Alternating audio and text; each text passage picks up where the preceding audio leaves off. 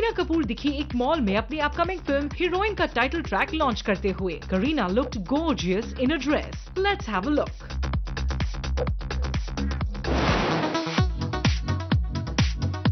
Film Raaz three को मिली काफ़ी अच्छी ओपनिंग और इस बारे में एंथुजियास्टिकली बातें करते हुए दिखे। फ़िल्म के कास्ट मेंबर्स इमरान हाशमी, बिपाशा बासु और ईशा गुप्ता।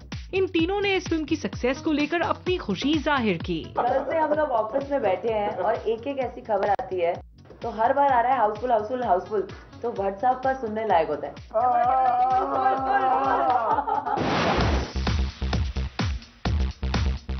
रीसेंट इंटरव्यू में रानी मुखर्जी ने कहा कि वो द डर्टी पिक्चर या हीरोइन जैसी फ़िल्में नहीं करना चाहेंगी as it deals with the controversial and sensational side of Bollywood which is not what it is all about Rani कहती है कि वो बॉलीवुड के उन एस्पेक्ट्स पर फ़िल्म करना चाहती हैं, which she has experienced herself, which entails the hard work and dedication that goes into making a film.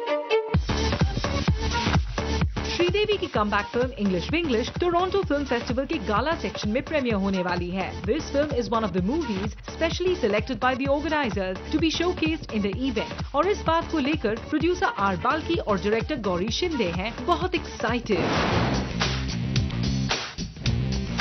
Vicky Donor fame actress Yami Gautam की लाइफ में एक डरावना सुपर एक्सपीरियंस हुआ था, जो उन्होंने एक साउथ इंडियन फ़िल्म की शूट के दौरान डायरेक्टर रवि बाबू से शेयर की। और अब ये डायरेक्टर इन इंसिडेंट्स को इनकॉपरेट करके एक फ़िल्म स्क्रिप्ट तैयार कर रहे हैं।